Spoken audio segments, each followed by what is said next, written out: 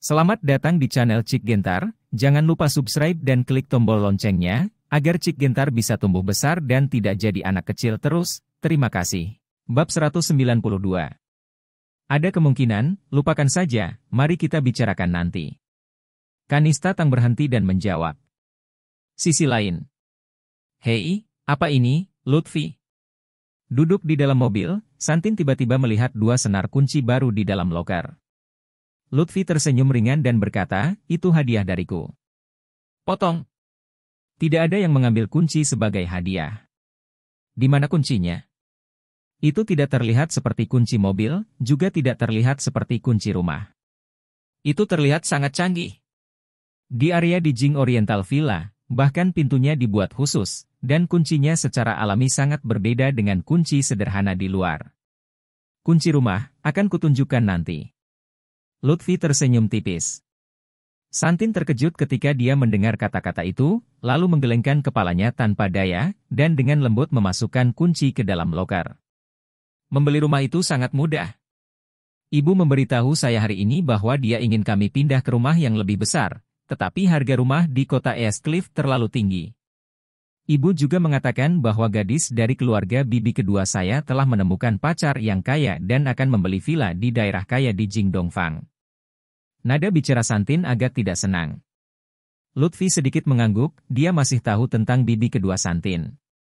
Itu adalah keluarga yang sombong ketika dia dan Santin menikah, tidak ada dari mereka yang datang. Lutfi merenung sejenak dan menjawab, tidak apa-apa, apa yang mereka miliki, akan kamu miliki di masa depan, aku berjanji padamu. Lagi pula, pindah ke rumah baru adalah peristiwa besar, jadi Lutfi merasa bahwa tidak mungkin baginya untuk mendekorasi rumah terlebih dahulu, lalu membawa Santin dan yang lainnya ke sana. Lutfi mengantar Santin ke perusahaan Max Jismi, berencana untuk pergi dan melihat rumah terlebih dahulu. Tapi setelah melihat waktu, Lutfi tetap membatalkan rencananya. Sekarang sudah hampir jam 7 malam, dan langit sudah gelap, Lutfi benar-benar tidak ingin bergegas ke timur di Jing. Lagi pula, melihat rumah bukanlah hal yang terburu-buru. Dan setelah Santin selesai menangani urusan perusahaan, dia harus kembali ke rumah sakit untuk menemui Yuman Jismi. Lutfi memutuskan untuk menunggu di sini, dan kemudian pulang kerja dengan Santin. Mobil diparkir dengan tenang di luar gedung perusahaan Max Jismi. Lutfi duduk di dalam taksi, membuka jendela, dan merokok dengan tenang dengan sebatang rokok di antara jari-jarinya.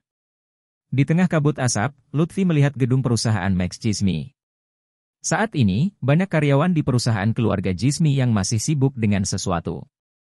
Lutfi sedang memikirkan apa yang harus dilakukan dengan Lateef Jismi dan yang lainnya setelah dia membantu Santin memimpin keluarga Jismi.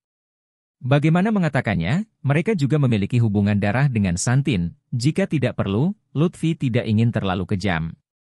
Kebaikan Santin tidak akan membiarkan Lutfi melakukan ini. Kalau tidak, perusahaan keluarga Jismi saat ini sudah lama tidak ada lagi.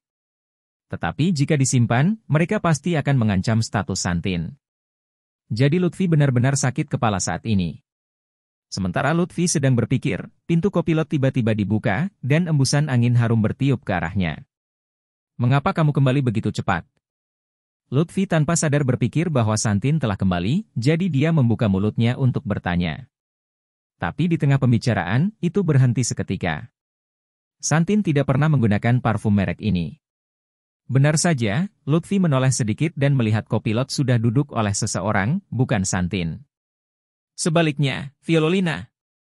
Viololina memegang posisi di perusahaan Max Jismi, jadi tidak aneh muncul di sini. Tapi Lutfi tidak tahu apa yang dia lakukan di mobilnya. Saat ini, Viololina mengenakan setelan kecil wanita kulit hitam, yang menonjolkan sosoknya dengan sangat baik. Kemeja putih untuk wanita bagian dalam terlihat lebih rapi dan rapi jika dipadankan dengan warna hitam dan putih. Rok hitam pendek dengan ketat menguraikan garis-garis yang hampir sempurna. Mengenakan kaos kaki tipis hitam panjang di tubuhnya, dia terlihat sangat ramping dan ramping. Dengan riasan halus di wajahnya dan noda merah di bibirnya, terlihat seperti batu akik merah. Terlepas dari hal lain, di antara semua gadis di keluarga Jismi, Viololina memang nomor dua setelah Santin dalam hal penampilan dan figur. Bahkan Yuman Jismi tidak bisa dibandingkan dengan pesona Viololina, karena bagaimanapun, Yuman Jismi masih muda dan masih agak muda. Dan Viololina adalah bunga yang mekar sempurna, memancarkan aroma dewasa di mana-mana. Jika saya harus membuat perbandingan, Yuman Jismi hanyalah apel hijau, sedangkan Viololina dan Santin adalah apel merah matang. Meskipun Lutfi menganggap Santin yang paling cantik, tidak dapat disangkal bahwa Viololina juga tidak buruk. Ada apa denganmu? Lutfi melirik Viololina dengan ringan. Lutfi, beritahu aku siapa kamu. Viololina berkata dengan sedikit rasa malu dan cemas di wajahnya. Aku Lutfi.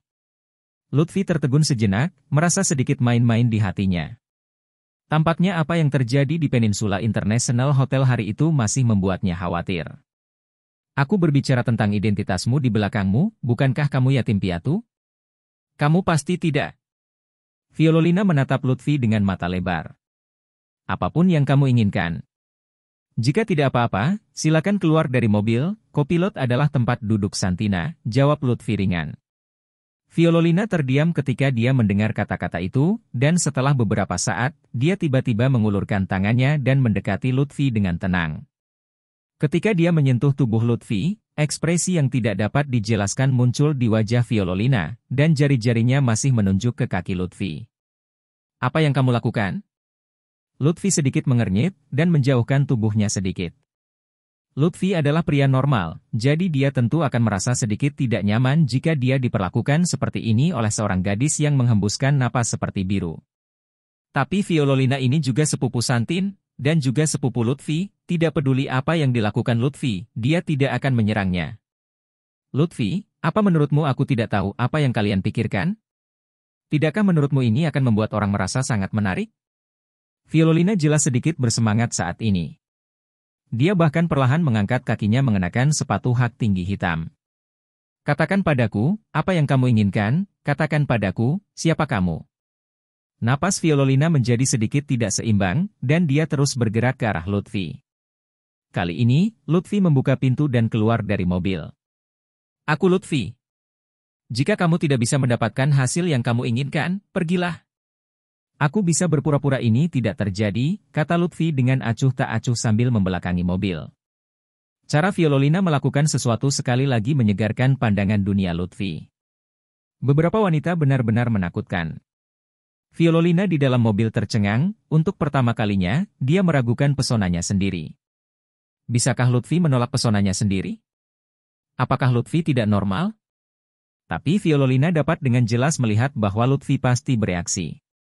Di mata Viololina, Lutfi tidak lebih dari sampah tak berguna yang mengandalkan keluarga Jismi untuk mencari nafkah.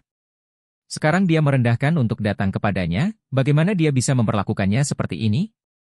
Bab 193 HMPH Biarkan aku memberitahumu, Lutfi, meskipun nama belakangmu adalah Lu, kamu pasti bukan dari keluarga Daim di ibu kota sihir, kan?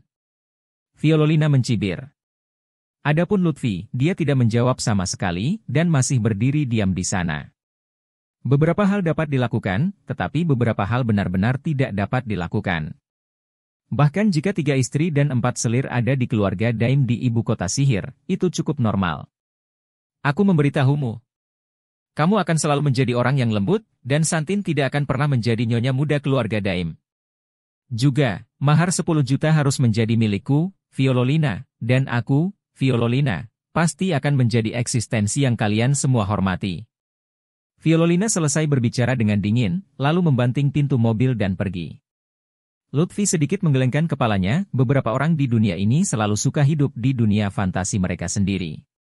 Sedih, menyedihkan, tapi itu tidak ada hubungannya dengan Lutfi.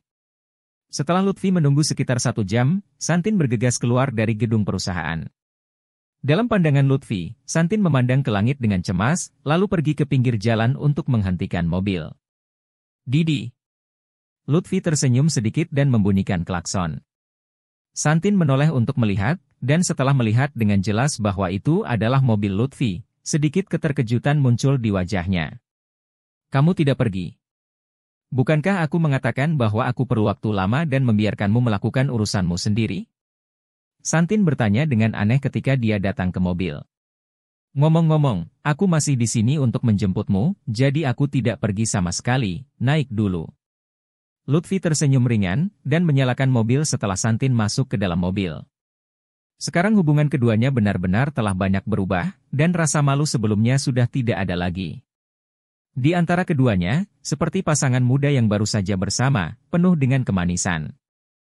Setelah apa yang terjadi selama ini, Santin sepenuhnya menerima Lutfi. Eh, tidak, ada bau parfum lain di dalam mobil ini, apa yang baru saja kamu lakukan? Tiba-tiba, Santin mengendus hidungnya dan bertanya dengan sensitif. Lutfi mengagumi diam-diam di dalam hatinya, wanita benar-benar sangat sensitif. Namun, dia juga merasakan perbedaan Santin. Jika ditempatkan pada Lutfi sebelumnya, apalagi bau parfum, bahkan jika Santin melihat Lutfi mengajak gadis lain berbelanja, dia tidak akan mengatakan sepatah kata pun. Dan sekarang, jelas sedikit cemburu. Ayo pergi, aku akan memberitahumu di jalan. Lutfi menggelengkan kepalanya tanpa daya, dan kemudian pergi dari gedung perusahaan Max Chismi. Dalam perjalanan, Lutfi secara alami menjelaskan kepada Santin. Lutfi tidak menipu Santin dengan hal lain, dan mengatakan yang sebenarnya tentang kunjungan Viololina. Tapi tidak disebutkan apa yang Viololina lakukan padanya, hanya dikatakan bahwa Viololina menanyakan identitasnya. Santin juga tidak terlalu memikirkannya, Viololina selalu membenci Lutfi, Santin masih jelas tentang ini. Dan dia tidak akan pernah menyangka bahwa sepupunya akan memikirkan suaminya, bukan? Tapi ngomong-ngomong, terkadang aku merasa, jika kamu bukan dari keluarga Daim di ibu kota sihir, bagaimana kamu akan melakukan hal-hal itu? Santin juga mengerutkan keningnya dengan indah. Bukankah kamu mengatakan bahwa kamu tidak ingin aku menjadi tuan muda dari keluarga Daim di ibu kota sihir? Lutfi bertanya dengan senyum tipis. Tentu saja aku tidak menginginkannya. Keluarga jismi kami hanya sebesar ini, dan semua orang di keluarga itu sangat menarik. Keluarga besar seperti keluarga Daim di ibu kota sihir bahkan lebih menarik. Mungkin seperti harem kaisar kuno. Santin tidak menyukai kehidupan seperti itu. Jadi, karena kamu tidak menyukainya, aku tidak. Aku hanya Lutfi, MU, Lutfi tersenyum main-main. Potong. Siapa yang peduli? Wajah Santin menjadi sedikit merah. Segera, Lutfi mengirim Santin ke bawah ke rumah sakit. Namun, Lutfi tidak naik, jangan sampai Yuman Jismi akan kesal saat naik, dan Lutfi sendiri tidak mau naik untuk mengolok-olok dirinya sendiri. Apakah kamu benar-benar tidak naik? Santin bertanya. Tidak, aku akan menunggumu turun, lalu pulang bersama. Lutfi mengangguk. Kalau begitu kamu kembali dulu, Aku akan merawat Yuman di sini malam ini, dan mengamati di rumah sakit untuk melihat apakah ada gejala sisa lainnya, kata Santin. Lutfi berpikir sejenak, menyapa, dan meninggalkan rumah sakit tanpa berkata apa-apa lagi. Di bangsal Yuman Jismi. Semua teman sekelasnya telah pergi satu demi satu. Gaston Hazel awalnya ingin tinggal di sini, tetapi juga ditolak oleh Yuman Jismi. Yuman Jismi bukan orang bodoh, Meskipun Gaston Hazel terus mengatakan bahwa dia mengambil anggur batu akik kristal dari Hyatt Club. Tapi tidak ada yang berani meragukan keputusan Kanis Tatang.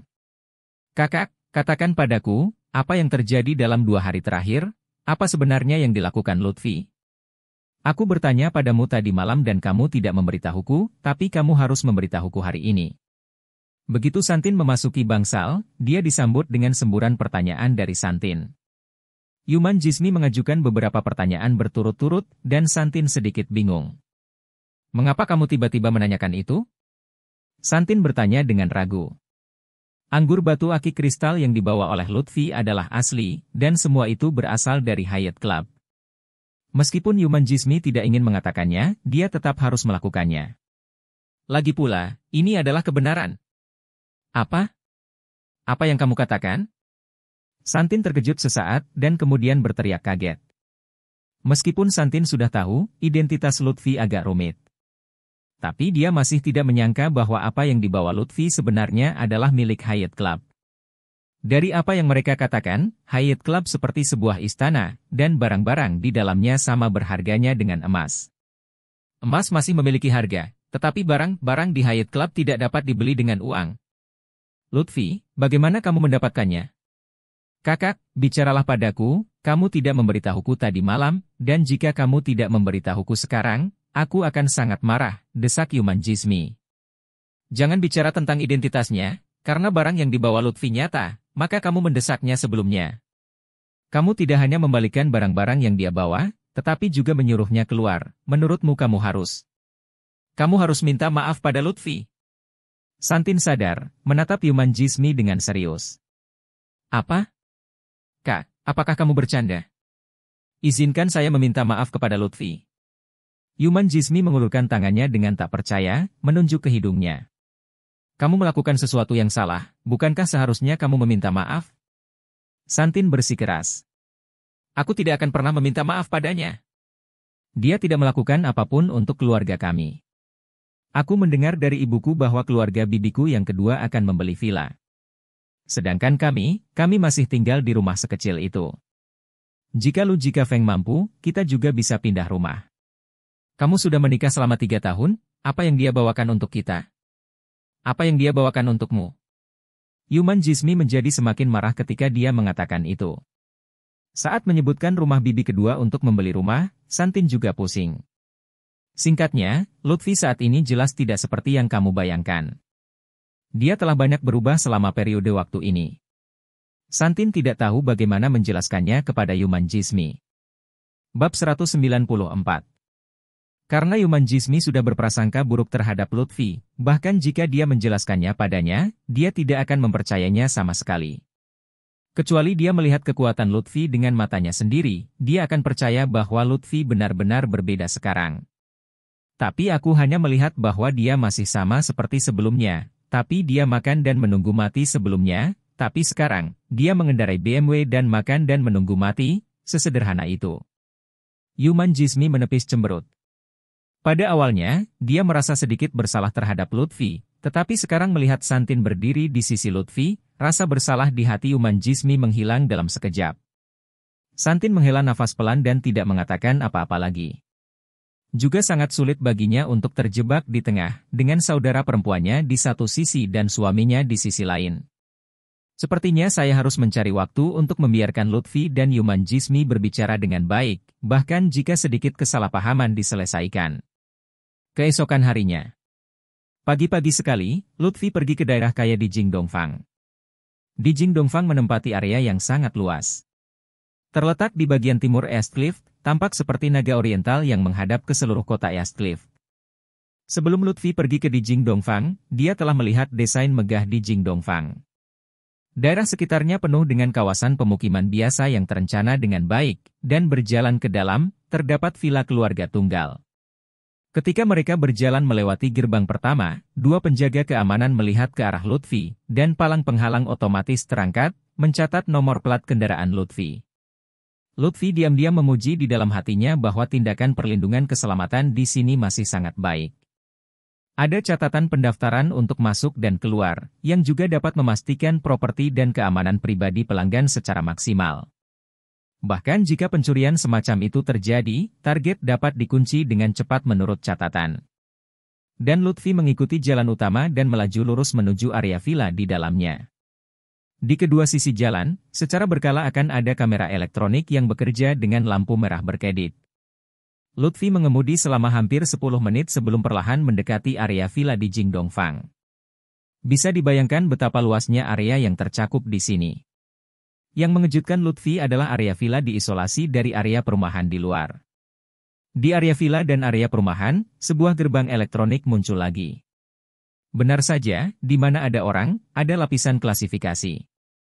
Dunia ini tidak adil sama sekali, selama kamu punya uang, kamu bisa mendapat perlakuan khusus. Didi. Melihat pintu elektronik tidak dibuka, Lutfi menekan klakson dengan ringan. Seorang penjaga keamanan segera keluar dan mengerutkan kening pada Lutfi. Tandanya ada di sana. Melihat wajah tanpa ekspresi Lutfi, petugas keamanan menunjuk ke tanda di sampingnya. Papan pengumuman berbunyi, area villa pribadi, pemalas tidak diizinkan masuk. Lutfi tidak muak dengan pendekatan di Jing Dongfang, bagaimanapun, itu juga bertanggung jawab atas pemilik area villa. Namun, Lutfi bukanlah peri. Dia punya dua villa, keduanya ada di sini.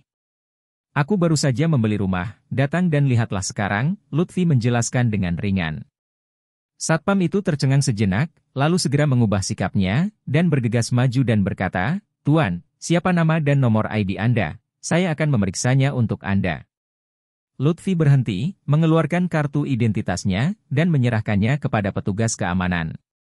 Pak mohon tunggu sebentar, mohon tunggu sebentar. Petugas keamanan segera mengambil KTP dan kembali ke gardu jaga. Lutfi mengangguk, dan melihat ke area villa. Saya melihat villa, villa single family tertata rapi, dilihat dari tampilannya bagus banget. Apakah itu ubin kaca di atap, warna dinding batu bata, atau gaya desain jendela besar dari lantai ke langit-langit, orang sangat menyukainya. Lutfi ingat bahwa Santin pernah berkata bahwa yang paling dia inginkan adalah rumah dengan jendela Perancis yang besar. Tampaknya keinginan Santin akan segera terkabul. Lutfi perlahan membantunya mewujudkan banyak keinginannya. Segera, Satpam keluar dengan kartu identitasnya, dengan ekspresi jelek di wajahnya. Tuan, lelucon ini sama sekali tidak lucu. Karena Anda tidak membeli rumah di sini, Anda tidak dapat memasuki area villa, kata Satpam dengan nada dingin. Lutfi terkejut, dan mengambil kartu identitasnya, sedikit terkejut. Aku memang membelinya. Lutfi menjelaskan. Tapi saya belum menemukan catatan Anda. Jika Anda membelinya, bisakah Anda menunjukkan kontraknya kepada saya? Penjaga keamanan itu sedikit menghina. Cuma bercanda, villa terburuk di kawasan villa ini mulai dari 5 juta. Jadi bagaimana jika Lutfi mengendarai BMW? Dengan ratusan ribu BMW, Anda bahkan tidak bisa membayar uang muka sebuah villa, oke? Okay? Keamanan sekarang merasa bahwa Lutfi ada di sini untuk menghiburnya, jadi sikapnya sangat buruk. Lutfi tertegun sejenak, dia benar-benar tidak memiliki kontrak. Itu seharusnya ditandatangani, tetapi Lutfi mengatakan bahwa dia harus melihat rumah terlebih dahulu, kemudian memutuskan apakah akan membelinya, dan kemudian menandatangani kontrak setelah konfirmasi. Menir penjualan di Jing Dongfang tidak menolak, dan langsung setuju. Tunggu sebentar, biarkan aku menelepon. Lutfi berpikir sejenak, dan Menir memberikan kartu nama untuk dirinya sendiri. Sekarang ini bisa berguna. Namun, Lutfi menyentuh sakunya, tetapi dia tidak dapat menemukan kartu namanya. Pak, tolong jauhkan mobilnya, agar tidak mengganggu akses orang lain. Selain itu, tidak masalah siapa yang Anda panggil. Di area di Jing Oriental Villa ini, pemilik bisa masuk, atau pemilik bisa membawa seseorang masuk. Anda tidak bisa masuk. Penjaga keamanan itu sedikit melengkungkan bibirnya. Lutfi berkata dengan senyum main-main, kamu telah mengatakan bahwa pemilik dapat membawa orang masuk, jadi bagaimana kamu tahu bahwa panggilan yang aku buat bukan untuk pemilikmu? Keamanan tercengang, wajahnya sedikit malu. Dia merasa di dalam hatinya bahwa Lutfi mungkin tidak mengenal pemilik area villa ini, jadi dia mengatakannya tanpa berpikir terlalu banyak. Dididi. Pada saat ini, klakson mobil yang cepat terdengar dari belakang. Lutfi menoleh dan melihat bahwa itu adalah Mercedes-Benz 320 hitam bernilai hampir 1 juta dolar. Oh, Tuan Sang sudah kembali. Penjaga keamanan itu tercengang sejenak, lalu buru-buru menaikkan penghalang. Pak, cepat pindahkan mobilnya, desak Satpam. Kalau begitu biarkan aku masuk, aku benar-benar membeli rumah di sini, kata Lutfi tak berdaya. Tidak. Saya belum menemukan informasi Anda di sistem, jadi Anda pasti tidak bisa masuk. Oke, jangan buang waktu di sini, bisakah kamu pergi? Jika kamu tidak pergi, aku akan memanggil truk derek. Jawab Satpam dengan tidak sabar. Didi. Mercedes-Benz di belakang menekannya dua kali lagi. Kemudian, pintu mobil langsung terbuka, dan seorang wanita melangkah keluar. Wanita itu mengenakan gaun merah halus, dan rambutnya berubah menjadi kuning keemasan, membentuk ikal bergelombang. Sepatu hak tinggi itu menginjak tanah, dan terdengar bunyi KL1K. Tapi ketika Lutfi menoleh untuk melihat, ekspresi lucu tiba-tiba muncul di wajahnya. Kota Eastcliff ini terlalu kecil. Saya tidak menyangka akan bertemu teman lama di kawasan Dijing Dongfang Villa ini. Wanita menawan berbaju merah ini sebenarnya adalah Mahawirya, yang sudah lama tidak kutemui. Bab 195 Apa yang kamu lakukan? Tidak bisakah kamu masuk? Jika tidak, jangan menghalangi. Hei, kamu, Lutfi. Teriak Mahawirya dengan tidak sabar, lalu tiba-tiba menatap Lutfi dengan heran. Lutfi melirik Mahawirya, dan akhirnya mengangguk, sebagai salam. Adapun Satpam, melihat bahwa Mahawirya mengenal Lutfi, dia segera menkanis takirkan penghinaannya terhadap Lutfi, dan dengan jujur berdiri di samping tanpa mengucapkan sepatah kata pun. Tanpa diduga, Lutfi benar-benar mengenal pemilik di sini, dan dia mengenal pemilik Tuan Sang. Meskipun Tuan Sang baru saja membeli villa kelas bawah senilai 5 juta yuan, dia jelas merupakan eksistensi yang dicari oleh keamanan. Mengapa kamu di sini? Mahawirya menatap Lutfi dengan ragu. Mahawirya tidak berani sekarang, dia terlalu memalukan di depan Lutfi. Lagi pula, saat itu di real estate Kencana, dia mendengar dengan sangat jelas bahwa Lutfi adalah tamu terhormat Presiden Real Estate Kencana, Sahaliguan. Bahkan Dadi dipecat dari real estate Kencana secara langsung karena dia menkanis tagung Lutfi. Dadi masih menganggur di rumah dan tidak dapat menemukan pekerjaan sama sekali. Aku sedang melakukan sesuatu di sini, Lutfi menjelaskan dengan ringan. Mungkinkah kamu juga membeli villa di sini? Mahawirya bertanya dengan ekspresi jelek. Karakternya adalah dia tidak ingin orang lain menjadi lebih baik dari dirinya sendiri, terutama musuh seperti Lutfi. Bu, bapak ini bukan pemilik tempat ini, tapi dia ngotot beli sendiri dan mau masuk ke area villa. Tentu saja ini tidak diperbolehkan menurut peraturan, tapi karena dia adalah temanmu, aku bisa membiarkannya masuk. Sebelum Lutfi dapat berbicara, Satpam di sebelahnya berbicara terlebih dahulu, dan berkata kepada Mahawirya seolah meminta pujian. Mahawirya terkejut sesaat, lalu tertawa terbahak-bahak. Tidak, Lutfi, kamu tidak membeli rumah di sini, jadi kenapa kamu masuk? Mungkinkah kamu masih punya teman yang tinggal di sini, dan harga awal villa di sini minimal 5 juta, mengerti? Dia tidak berani terlalu sombong di depan Lutfi, tetapi sekarang dia tahu bahwa Lutfi tidak membeli villa di sini, rasa superioritas Mahawirya segera muncul. Karena, dia bisa masuk dan keluar area villa sesuka hati, tapi Lutfi tidak bisa, bahkan harus diblokir di sini. Perlakuan berbeda semacam ini memberi Mahawirya rasa superioritas. Aku membeli rumah, kata Lutfi dengan ringan. Mahawirya terkejut, lalu memandang Lutfi dengan main-main dan bertanya, Lalu mengapa kamu tidak bisa masuk? Lutfi berhenti menjawab telepon dan hendak segera menelepon manajer penjualan. Lan-Lan, apa yang terjadi? Apakah kamu mengenal orang ini? Pada saat ini, seorang pria parubaya dengan jas dan sepatu kulit datang dari belakang. Pria parubaya itu mengenakan setelan yang layak, tentu saja tidak bermutu rendah, dan jam tangan Patek Philip di pergelangan tangannya bersinar terang. Di balik kacamata berbingkai emas itu, ada sepasang mata yang bersinar. Lutfi tercengang sejenak. Dia telah mendengar pembicaraan keamanan tentang Zhang sebelumnya, jadi dia bahkan berpikir bahwa Dahdilah yang duduk di dalam mobil. Sekarang tampaknya bukan itu masalahnya. Apakah Mahawirya menemukan target baru? Memikirkan hal ini, Lutfi sedikit terkejut ketika dia ingin menelepon. Wahai suamiku, aku sudah memberitahumu bahwa ini adalah suami dari sahabatku, Melihat pria parubaya itu mendekat, Mahawirya segera mengatakan sesuatu dengan genit, meraih lengan pria parubaya itu, dan terus bersandar pada pria parubaya itu. Ketika berbicara tentang kata-kata, sahabat, Mahawirya dengan sengaja menekankan nadanya, dengan sedikit rasa jijik di sudut mulutnya. Oh, apakah itu sangat kebetulan? Pria parubaya itu terkejut ketika mendengar kata-kata itu, dan kemudian menatap Lutfi dengan geli. Ada pengawasan, sentuhan penghinaan, dan bahkan sarkasme di mata itu. Lutfi segera mengerti tampaknya Mahawirya telah membuat hal-hal yang sangat tak tertahankan tentang dirinya dan Santin di depan pria parubaya ini. Kalau tidak, pria parubaya ini tidak akan memiliki ekspresi ini. Lutfi, izinkan saya memperkenalkan Anda. Ini adalah suami saya, Zhang Jian, bos dari Escliff Jiandako, Ltd. Anda pasti pernah mendengarnya, bukan? Mahawirya memandang Lutfi dengan wajah angkuh, seolah-olah memperkenalkan Sang Jian ke Lutfi hanya menyanjung Lutfi. Oh, aku belum pernah mendengarnya. Lutfi menjawab dengan tenang tanpa memandang Sang Jian. Tuan, Anda bahkan tidak mengenal Tuan Sang dari Jian Dako, Ltd. Kalau begitu saya pikir sekarang, Anda pasti bukan pemilik area villa kami. Karena orang kaya di kota Escliff belum pernah mendengar tentang Tuan Sang. Perusahaan Tuan Sang terutama bergerak dalam bisnis bahan bangunan. Bahkan villa kami di Dijing Dongfang menggunakan bahan bangunan dari perusahaan Tuan Sang.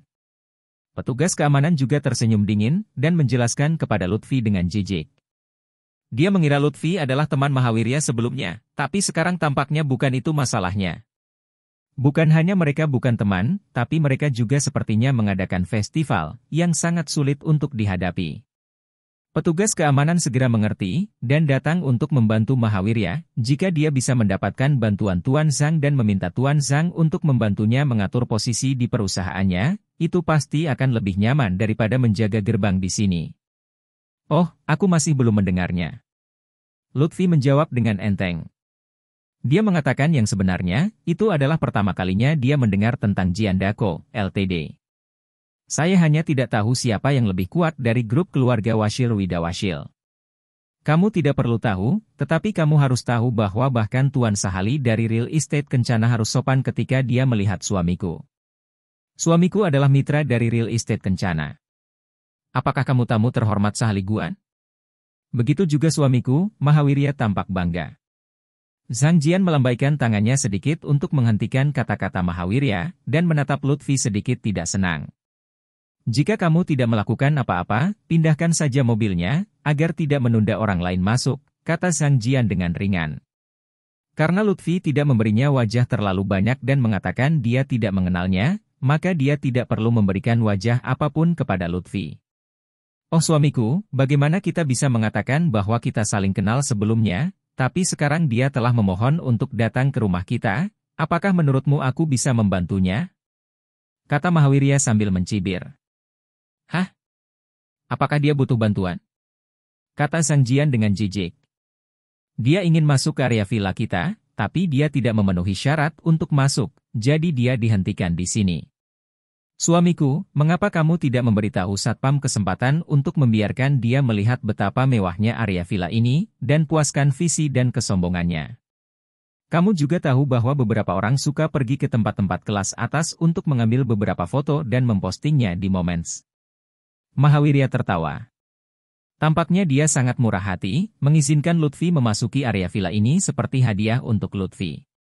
Tentu saja, jika adik laki-laki ini ingin mengambil gambar dan mempostingnya di momen seolah-olah dia punya uang, saya bisa memahaminya. Jika kamu ingin masuk, katakan padaku, itu hanya sepatah kata dariku. Zhang Jian tersenyum tipis, dan menatap Lutfi dengan bangga. Singkatnya, Lutfi digambarkan sebagai orang yang menyukai kesombongan dan suka berpura-pura menjadi kaya. Lagi pula, villa-villa di sini mulai dari minimal 5 juta yuan, bisakah Anda membelinya jika Anda mengendarai BMW rusak? Tidak perlu, aku bisa masuk sendiri, jadi aku tidak akan mengganggumu. Setelah Lutfi selesai berbicara, dia langsung berjalan menuju mobil. Dia ingat bahwa kartu nama yang diberikan kepadanya oleh menir penjualan seharusnya dimasukkan ke dalam kotak penyimpanan olehnya.